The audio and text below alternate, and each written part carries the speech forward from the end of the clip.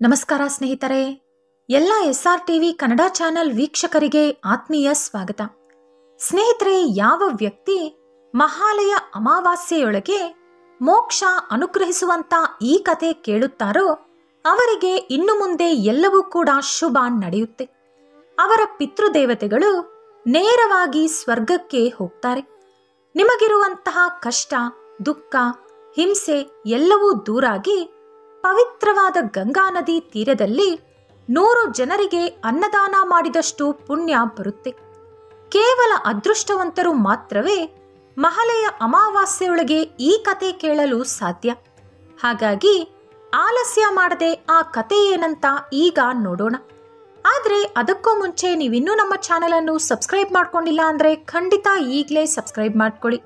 ಹಾಗೆ ಈ ವಿಡಿಯೋ ಇಷ್ಟ ಆದರೆ ಮರೀದೇ ಒಂದು ಲೈಕ್ ಕೊಡಿ. ಸ್ನೇಹಿತರೆ, ನಮ್ಮ ಪೂರ್ವಿಕರು ಹಾಗೂ ನಮ್ಮ ಪುರಾಣಗಳು ಯಾವಾಗಲೂ ಕೂಡ ಹೇಳೋದು ಒಂದೇ ಮಾತು. ಪಾಪ ಮಾಡಿದವರು ನರಕಕ್ಕೆ ಹೋಗ್ತಾರೆ, ಪುಣ್ಯ ಮಾಡಿದವರು ಸ್ವರ್ಗಕ್ಕೆ ಹೋಗ್ತಾರೆ ಅಂತ. ಇನ್ನು ನರಕಲೋಕದ ಬಗ್ಗೆ ವರ್ಣಿಸಬೇಕು ಅಂದ್ರೆ ನರಕಲೋಕದಲ್ಲಿ ಅನೇಕ ರೀತಿಯಾದ ಶಿಕ್ಷೆಗಳಿರುತ್ತವೆ. ಅವುಗಳಲ್ಲಿ ಕೆಲವು ಯಾವುದೆಂದರೆ ಕುತ ಕುತ ಕುದಿಯುವ ಎಣ್ಣೆಯಲ್ಲಿ ಪಾಪಿಗಳನ್ನ ಹಾಕ್ತಾರೆ. ಅನೇಕ ರೀತಿಯಾದ ಆಯುಧಗಳಿಂದ ಹೊಡಿತಾರೆ. ಕರಗಿಸಿದಂತ ಕಬ್ಬಿಣ ಲೋಹವನ್ನು ಕುಡಿಸ್ತಾರೆ. ಕೆಂಪಗೆ ಕಾದಿರುವ ಕಂಬವನ್ನು ಅಪ್ಪಿಕೊಳ್ಳುವಂತೆ ಮಾಡ್ತಾರೆ. ಕಣ್ಣು ಗುಡ್ಡೆಗಳನ್ನ ಕೀಳ್ತಾರೆ. ಕ್ರೂರವಾದ ಪ್ರಾಣಿಗಳಿರುವ ಕಡೆ ಬಿಟ್ಟು ಬಿಡ್ತಾರೆ. ವಿಷ ಸರ್ಪಗಳಿಂದ ಕಚ್ಚಿಸ್ತಾರೆ.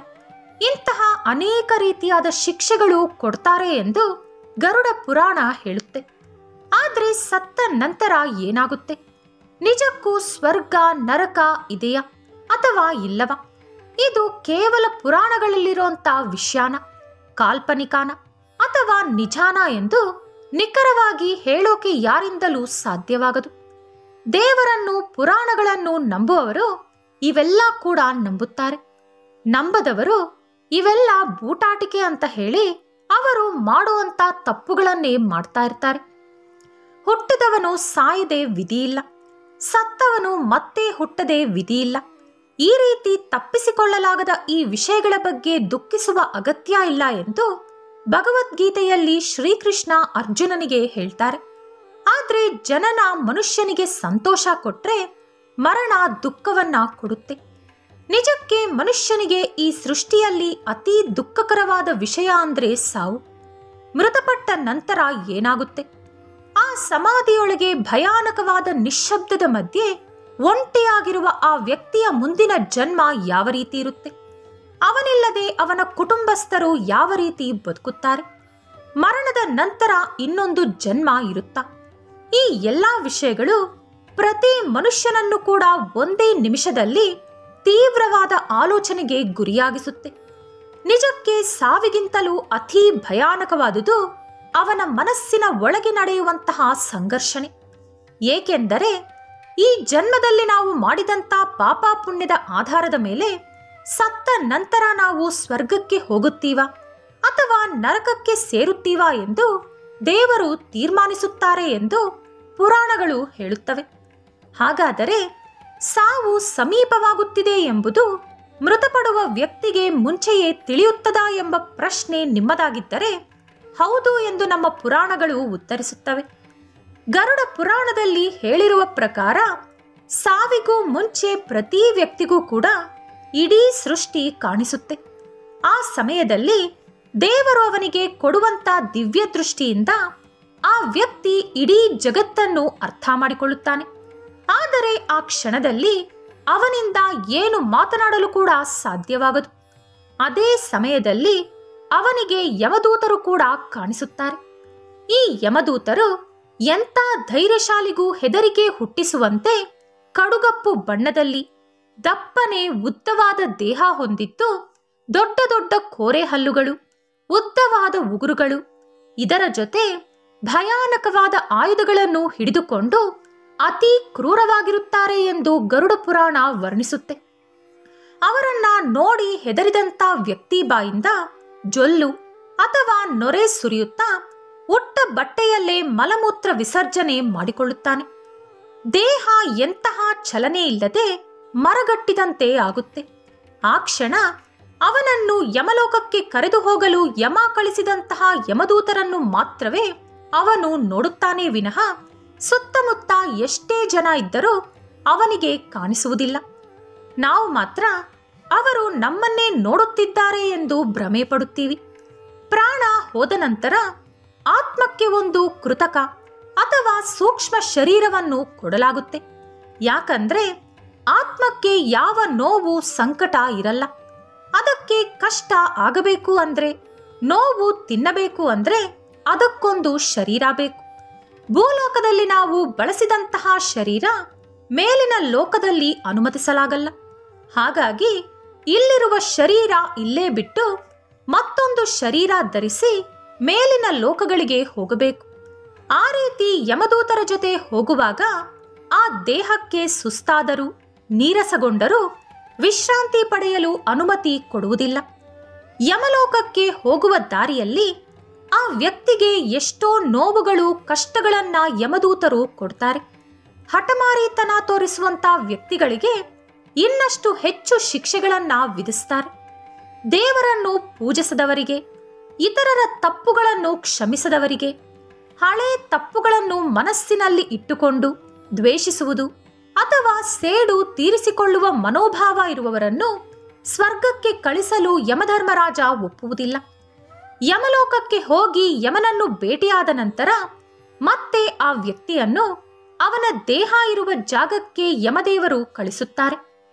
ಆ ವ್ಯಕ್ತಿಗೆ ಅವನ ಕುಟುಂಬ ಸಭ್ಯರು ಅಂತ್ಯಕ್ರಿಯೆಗಳನ್ನು ಮಾಡುತ್ತಿದ್ದಾರಾ ಇಲ್ಲವ? ಅವನ ಆತ್ಮಶಾಂತಿಗಾಗಿ ಕರ್ಮಕಾಂಡ ಮಾಡುತ್ತಿದ್ದಾರಾ ಇಲ್ಲವ? ಯಾರದು ನಿಜವಾದ ಪ್ರೀತಿ? ಯಾರದು ನಾಟಕೀಯ? ಅವನನ್ನು ಪ್ರೀತಿಸಿದವರು ಯಾರು? ದ್ವೇಷಿಸಿದವರು ಯಾರು? ಇದೆಲ್ಲವೂ ತಿಳಿದುಕೊಳ್ಳುವ ಅವಕಾಶ ಒಂದು ಸಾರಿ ಆ ವ್ಯಕ್ತಿಗೆ ಯಮಧರ್ಮರಾಜ ಕಲ್ಪಿಸಿಕೊಡುತ್ತಾರೆ. ಆ ಸಮಯದಲ್ಲಿ ಜೀವಿಗೆ ತನ್ನ ಶತ್ರುಗಳು ಯಾರು? ಮಿತ್ರರು ಯಾರು? ಹಿತೈಷಿಗಳು ಯಾರು ಎಂಬುದು ಅರ್ಥವಾಗುತ್ತೆ. ಆದರೂ ಕೂಡ ಮಿತ್ರರನ್ನು ಅಪ್ಪಿಕೊಳ್ಳುವುದಕ್ಕಾಗಲಿ, ಶತ್ರುಗಳನ್ನು ದ್ವೇಷಿಸುವುದಕ್ಕಾಗಲಿ, ಅಥವಾ ಸೇಡು ತೀರಿಸಿಕೊಳ್ಳುವುದಕ್ಕಾಗಲಿ ಸಾಧ್ಯವಾಗದು. ಬದುಕಿರುವವರೆಗೂ ಅವನಿಗೆ ತಿಳಿಯದಿರುವಂತಹ ಎಷ್ಟೋ ಸತ್ಯಗಳು ಸತ್ತ ನಂತರ ಅವನಿಗೆ ತಿಳಿಯುತ್ತೆ. ಅವನು ಬದುಕಿದ್ದಾಗ ಎಂಥ ಮೂರ್ಖನಾಗಿದ್ದ ಎಂದು ತಿಳಿದುಕೊಂಡು ಪ್ರತಿ ವ್ಯಕ್ತಿ ಕೂಡ ಕಣ್ಣೀರಾಗ್ತಾನೆ. ಅದನ್ನ ನೋಡಿ ಅವನನ್ನ ಹೀಯಾಳಿಸುತ್ತಾ ಇನ್ನಷ್ಟು ಚುಚ್ಚು ಮಾತುಗಳಿಂದ ನೋಯಿಸುತ್ತಾರೆ ಯಮದೂತರು. ಪುರಾಣಗಳು ಹೇಳಿರುವ ವಿಷಯ ನಂಬದೆ ನನ್ನ ತಲೆ ಮೇಲೆ ಕಲ್ಲನ್ನು ನಾನೇ ಎಳೆದುಕೊಂಡೆ ಎಂದು ಆ ಕ್ಷಣ ಅವನಿಗೆ ಅರ್ಥವಾಗುತ್ತೆ ಎಂದು ಸಾಕ್ಷಾತ್ ಶ್ರೀ ಮಹಾವಿಷ್ಣು ಗರುಡನಿಗೆ ಹೇಳ್ತಾರೆ. ಆದರೆ ಅದರಿಂದ ಪ್ರಯೋಜನ ಏನೂ ಇಲ್ಲ. ಎಲ್ಲವೂ ಅಷ್ಟೊತ್ತಿಗಾಗಲೇ ಮುಗಿದು ಹೋಗಿರುತ್ತೆ. ಹದಿಮೂರನೇ ದಿನದ ನಂತರ ಮತ್ತೆ ಆ ವ್ಯಕ್ತಿಯನ್ನ ಯಮಲೋಕಕ್ಕೆ ಕರೆದುಕೊಂಡು ಹೋಗ್ತಾರೆ. ಅಲ್ಲಿ ಅವನು ಮಾಡಿರುವಷ್ಟು ತಪ್ಪುಗಳಿಗೆ ಶಿಕ್ಷೆಗಳನ್ನ ಅನುಭವಿಸಿ, ಪುಣ್ಯ ಮಾಡಿದ್ದರೆ ಅಲ್ಲಿಂದ ಸ್ವರ್ಗಕ್ಕೆ ಹೋಗಿ ಪುಣ್ಯಫಲ ಅನುಭವಿಸಿ, ಮತ್ತೆ ಇನ್ನೊಂದು ಜನ್ಮ ಪಡೆಯುತ್ತಾನೆ. ಆ ಜನ್ಮ ಸುಖವಾಗಿರುತ್ತದಾ ಅಥವಾ ಕಷ್ಟವಾಗಿರುತ್ತದಾ ಎಂಬುದು ಈ ಜನ್ಮದಲ್ಲಿ ಅವನು ಮಾಡಿರುವಂತ ಕರ್ಮಗಳ ಮೇಲೆ ಆಧಾರವಾಗಿರುತ್ತೆ. ಇಲ್ಲಿ ನೀವು ಒಂದು ವಿಷಯ ಗಮನಿಸಬೇಕು. ಈ ಜನ್ಮದಲ್ಲಿ ನಾವು ಮಾಡಿರುವಂತ ತಪ್ಪುಗಳಿಗೆ ನರಕದಲ್ಲಿ ಇದಾಗಲೇ ಶಿಕ್ಷೆ ಅನುಭವಿಸಿ ಆಯಿತು ಮತ್ತೆ ಮುಂದಿನ ಜನ್ಮದಲ್ಲಿ ಶಿಕ್ಷೆ ಏಕೆ ಅನುಭವಿಸಬೇಕು ಎಂದು. ಆದರೆ ದೇವರ ಲೆಕ್ಕದಲ್ಲಿ ನಾವು ಮಾಡಿರುವಂತ ಪಾಪಗಳಿಗೆ ನರಕದಲ್ಲೂ ಕೂಡ ಶಿಕ್ಷೆ ಅನುಭವಿಸಬೇಕು. ಹಾಗೆ ಆ ಪಾಪಗಳಿಗೆ ತಕ್ಕಂತ ಜನ್ಮ ಮತ್ತೆ ನಮಗೆ ಲಭಿಸಿ ಆ ಜನ್ಮದಲ್ಲೂ ಶಿಕ್ಷೆಯನ್ನು ಅನುಭವಿಸುತ್ತೀವಿ. ನಮಗೆ ಇತರೆ ಯುಗಗಳಲ್ಲಾದರೆ ತಪಸ್ಸು ಮಾಡುವ ಮೂಲಕ ಪುಣ್ಯ ಗಳಿಸಬಹುದಾಗಿತ್ತು. ಆದರೆ ಕಲಿಯುಗದಲ್ಲಿ ದೇವರ ನಾಮ ಜಪಿಸಿದರೆ ಸಾಕು, ಪುಣ್ಯ ಬರುತ್ತೆ. ಇದಕ್ಕೆ ನೀವು ಒಂದು ರೂಪಾಯಿ ಕೂಡ ಖರ್ಚು ಮಾಡೋ ಅಗತ್ಯ ಇಲ್ಲ. ನೀವು ಏನೇ ಕೆಲಸ ಮಾಡುತ್ತಿದ್ದರೂ ನಿಮ್ಮ ಮನಸ್ಸಿನಲ್ಲಿ ನಿಮ್ಮ ಇಷ್ಟ ದೇವರ ಹೆಸರನ್ನು ನೆನೆಸಿಕೊಳ್ಳುತ್ತಿದ್ದರೆ ಸರಿ ಹೋಗುತ್ತೆ ಇದಕ್ಕೆ ಉದಾಹರಣೆಯಾಗಿ ಒಂದು ಕತೆ ಹೇಳ್ತೀನಿ ಕೇಳಿ.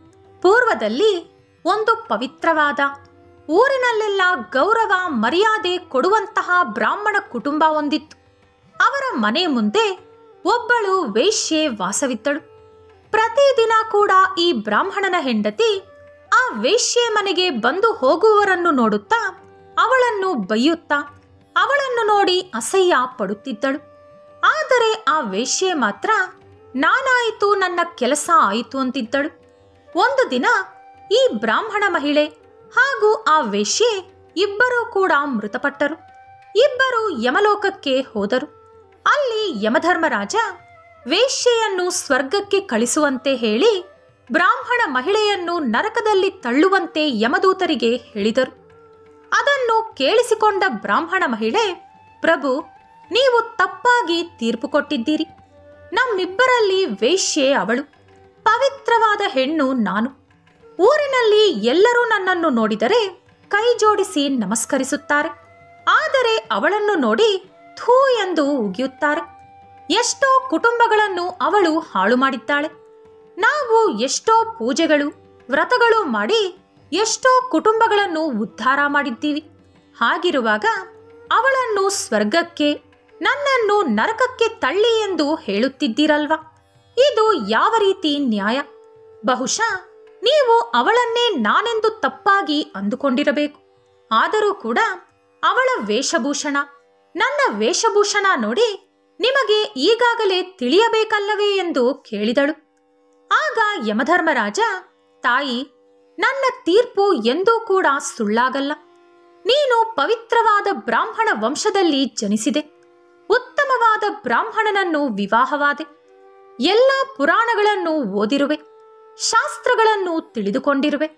ಆದರೂ ಕೂಡ ಪರರನ್ನು ನಿಂದಿಸಬಾರದು ಎಂದು ನಿನಗೆ ತಿಳಿಯದೆ, ನಿತ್ಯವೂ ದೇವರ ನಾಮ ಜಪ ಮಾಡುವವನಿಗೆ ಸ್ವರ್ಗಲೋಕ ಪ್ರಾಪ್ತಿಯಾಗುತ್ತದೆ ಎಂದು ನಿನಗೆ ತಿಳಿಯದೆ, ನೀನು ಸಮಯ ಸಿಕ್ಕಾಗಲೆಲ್ಲ ದೇವರ ನಾಮ ಜಪಿಸುವುದು ಬಿಟ್ಟು ಈಕೆಯ ನಾಮವನ್ನೇ ಜಪ ಮಾಡುತ್ತಿದ್ದೆ. ಈಕೆಯ ಮನೆಗೆ ಬಂದು ಹೋಗುವವರನ್ನು ನೋಡುತ್ತಾ ವಿನಾಕಾರಣ ಈ ಮಹಿಳೆಯನ್ನು ನಿಂದಿಸುತ್ತಾ ನಿನ್ನ ಅಮೂಲ್ಯವಾದ ಸಮಯವನ್ನು ಹಾಳು ಮಾಡಿಕೊಂಡೆ ಆದರೆ ಈ ಹೆಣ್ಣು ಪೂರ್ವ ಜನ್ಮದಲ್ಲಿ ಮಾಡಿರುವ ಕರ್ಮಾನುಸಾರ ಈ ಜನ್ಮದಲ್ಲಿ ವೇಶ್ಯೆಯಂತೆ ಜನಿಸಬೇಕಾಯಿತು.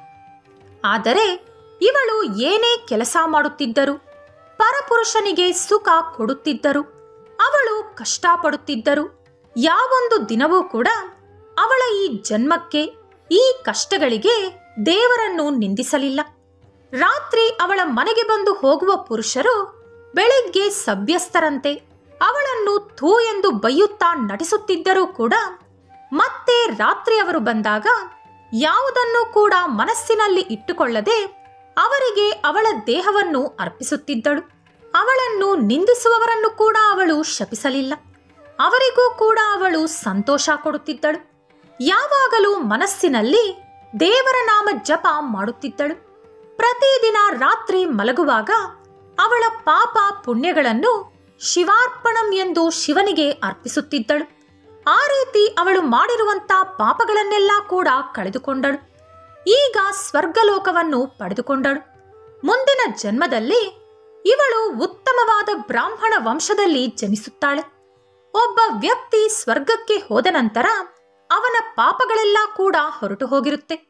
ಹಾಗಾಗಿ ಮುಂದಿನ ಜನ್ಮದಲ್ಲಿ ಪಾಪಗಳೇ ಇಲ್ಲದೆ ಜನಿಸುತ್ತಾನೆ. ಆ ಜನ್ಮದಲ್ಲಿ ಅವನು ಮಾಡುವ ಪಾಪಗಳು ಅಥವಾ ಪುಣ್ಯಗಳು ಮುಂದಿನ ಜನ್ಮವನ್ನು ನಿರ್ಧಾರ ಮಾಡುತ್ತವೆ. ಒಂದು ವೇಳೆ ಆ ಜನ್ಮದಲ್ಲಿ ಪಾಪಗಳು ಮಾಡದೆ ಪುಣ್ಯವೇ ಮಾಡುತ್ತಾ ಹೋದರೆ ದೇವರಿಗೆ ಹತ್ತಿರವಾಗುತ್ತಾರೆ. ಆ ರೀತಿ ದೇವರಿಗೆ ಹತ್ತಿರವಾದವರು ಮೋಕ್ಷ ಪಡೆದುಕೊಳ್ಳುತ್ತಾರೆ. ಆದರೆ ನೀನು ಉತ್ತಮವಾದ ಜನ್ಮ ಪಡೆದಿದ್ದರೂ ಕೂಡ ದೇವರ ಬಗ್ಗೆ ಯೋಚಿಸದೆ, ವೇಶ್ಯೆಯ ಬಗ್ಗೆ ಯೋಚಿಸಿದೆ. ಹಾಗಾಗಿ ಮುಂದಿನ ಜನ್ಮದಲ್ಲಿ ನೀನು ವೇಶ್ಯೆಯಂತೆ ಜನಿಸುತ್ತೀಯಾ ಅಂದರು ಯಮಧರ್ಮರಾಜ. ನೋಡಿದ್ರಲ್ಲ ಸ್ನೇಹಿತರೆ, ಅದರಿಂದಾನೇ ಹೇಳೋದು, ನಾವು ಯಾರನ್ನ ತುಂಬಾ ದ್ವೇಷಿಸ್ತೀವೋ, ಅಸಹ್ಯ ಪಟ್ಕೊಳ್ತೀವೋ, ಮುಂದಿನ ಜನ್ಮದಲ್ಲಿ ನಾವು ಅವರಂತೇನೆ ಜನಿಸಬೇಕಾಗುತ್ತೆ. ನಾವು ಅಗತ್ಯವಿಲ್ಲದ ಮಾತುಗಳನ್ನ ಆಡೋದು ಕೆಲಸಕ್ಕೆ ಬಾರದ ವಿಷಯಗಳ ಬಗ್ಗೆ ಚರ್ಚೆ ಮಾಡೋದು, ಪರರನ್ನು ನಿಂದಿಸೋದು, ದ್ವೇಷ, ಅಸೂಯೆ, ಕೋಪ ತೋರಿಸುವುದು, ಇವೆಲ್ಲ ಬಿಟ್ಟು ದೇವರ ನಾಮಜಪ ಮಾಡುತ್ತಾ ಹೋದರೆ ನಾವು ಕೂಡ ಈ ಜನ್ಮದಲ್ಲಿ ಸ್ವರ್ಗಲೋಕ ಪಡೆದುಕೊಂಡು ಮುಂದಿನ ಜನ್ಮದಲ್ಲಿ ಪಾಪಗಳೇ ಇಲ್ಲದೆ ಪವಿತ್ರವಾದ ಜನ್ಮ ಪಡೆಯುತ್ತೀವಿ ಈ ವಿಡಿಯೋ ನಿಮಗೆ ಇಷ್ಟ ಆದರೆ ಲೈಕ್ ಮಾಡಿ, ಶೇರ್ ಮಾಡಿ. ಇಂಥ ಹೆಚ್ಚಿನ ಉತ್ತಮ ಕಥೆಗಳಿಗಾಗಿ ತಪ್ಪದೇ ನಮ್ಮ ಚಾನೆಲ್ ಅನ್ನು ಸಬ್ಸ್ಕ್ರೈಬ್ ಮಾಡ್ಕೊಳ್ಳಿ. ನಾಳೆ ಮತ್ತೊಂದು ವಿಡಿಯೋದೊಂದಿಗೆ ಪುನಃ ಭೇಟಿಯಾಗೋಣ. ಧನ್ಯವಾದಗಳು.